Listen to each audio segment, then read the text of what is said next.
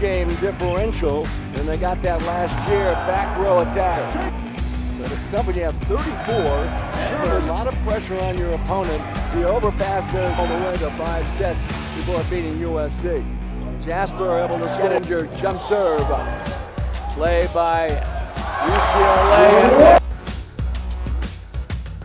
The other team, Dvorak, jump serve. State, that's served by Dvorak, the overpass. Dvorak, Jasper at USC. His uncle Dusty played volleyball at USC as well.